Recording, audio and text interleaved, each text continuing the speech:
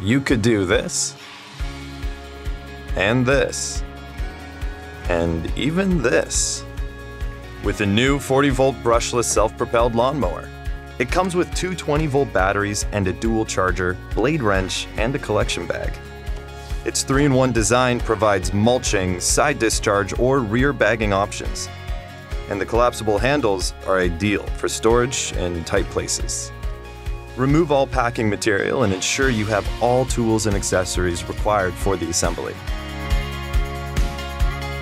Secure the lower handlebar and make sure the control cord runs up the upper side of the lower handlebar on the right. Then attach the upper handlebar and secure the control cord with the clips provided. Don't connect the unit to battery power until the mower is completely assembled. You'll need to fully charge the batteries before you use it for the first time. On the deck, you'll find a single height adjustment lever with six cut heights. Remove the safety key before adjusting. To use the grass bag, open the deflector guard, hold in position, and then align and hook it into the attachment slots of the rear discharge chute. And just remember to empty the grass bag regularly.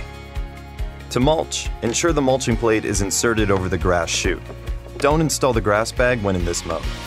Make sure the mulching plate is inserted to use the side chute option, and attach the side chute under the discharge cover.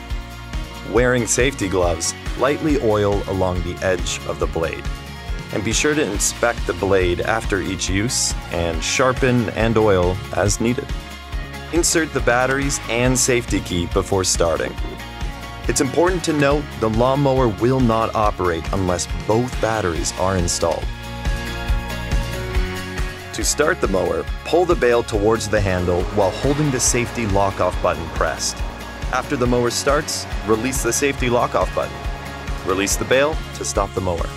To use the self-propelling feature, pull the lawnmower bale towards the handle and then pull the self-propelling lever at the same time. Release the self-propelling bar to stop the forward motion without stopping the engine. Hold the bale down against the handle to continue mowing. Adjust the self-propelling speed with the speed control lever. Safely, try to keep the underbody and blade clean and free of debris and be sure to remove clippings from the discharge chute after each cut.